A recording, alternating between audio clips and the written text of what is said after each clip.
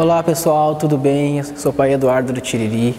Hoje eu estou aqui novamente com a mãe Michele, que está aqui comigo. A gente vai explicar para vocês sobre o ritual do Pai Xangô, tá? O que esse ritual vai abordar e a mãe Michele vai estar tá explicando, vou estar tá fazendo algumas perguntas para ela, para esclarecer algumas dúvidas de vocês sobre esse ritual. Tudo bem, mãe Michele? Tudo bem, ritual maravilhoso, né? Ritual um dos mais esperados do ano, ritual onde quem está sofrendo algum tipo de prejuízo na sua vida injustamente, é esse ritual que vai trazer a resposta e que vai trazer a vitória.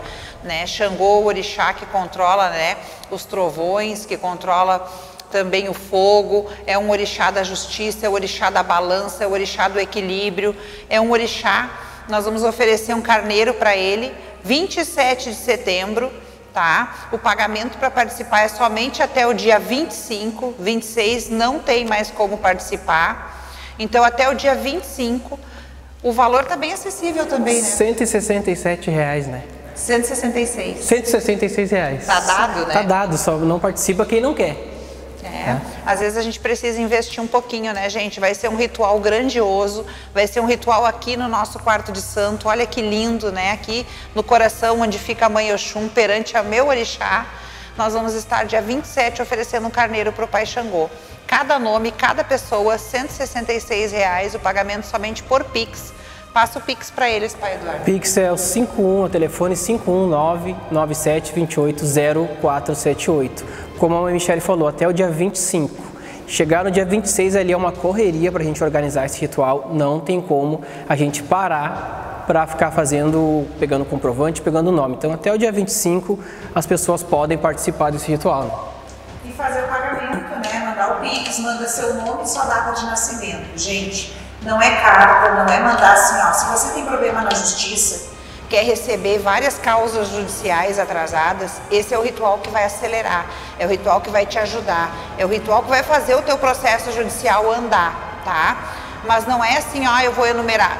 O orixá, se tu der teu nome e tua data de nascimento, o orixá sabe tudo o que tu precisa em relação à justiça, em relação à carteira de motorista, quem está tirando está com dificuldade, está com medo de dirigir. Alguém que quer se legalizar, né, fora do país. O pessoal do exterior, né, nos procura bastante. Sim, bastante.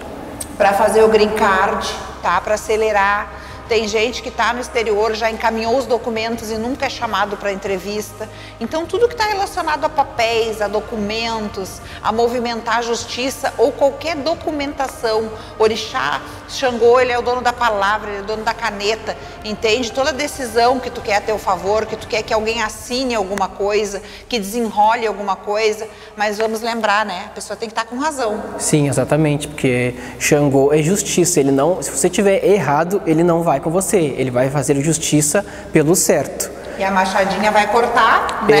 E vai te prejudicar. Se você está errado, você sabe que está errado. Tem muita gente que sabe que está errado, mas insiste, né, na sua verdade, insiste em achar que está certo. Tem gente às vezes está errado e processa pessoas. Então você tem que pedir misericórdia para Xangô e não justiça. Essa palavrinha mágica, misericórdia, ela faz tanta diferença. Faz. Se você está errado, Xangô te dá o perdão. Xangô também te atende, ele também fica do teu lado. Mas tem que reconhecer, né? Mas tu tem que falar a palavra mágica, misericórdia. Então não peça justiça, peça misericórdia.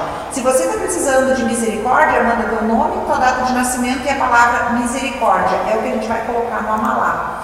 Nosso quarto de santo vai estar lindo vai ter uma malá gigante. A malá, para quem não sabe, é uma comida oferecida a Xangô, é uma oferenda.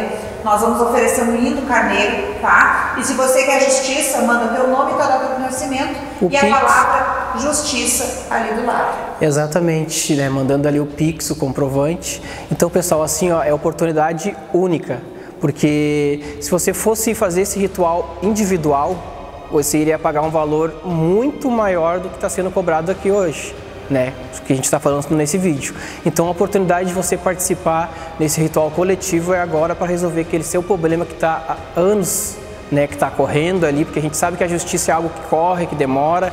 Então, o momento de resolver esse problema é agora. Por um valor acessível, por um valor simbólico e uma oportunidade de um ritual fortíssimo. Tá? Exatamente como o Eduardo falou. Tá, gente? Individual, você tem que arcar com todos os custos sozinho né? E a gente, às vezes, a gente precisa também dar para receber. Porque que não a gente uh, ter esse olhar né, do compartilhamento, esse olhar de fazer um ritual coletivo, Sim. de estar ali todos de mão dadas em prol do mesmo resultado. 27 de setembro, aguardo por você. Então, pessoal, a gente costuma dizer, se você está vendo esse vídeo, é porque este ritual é para você.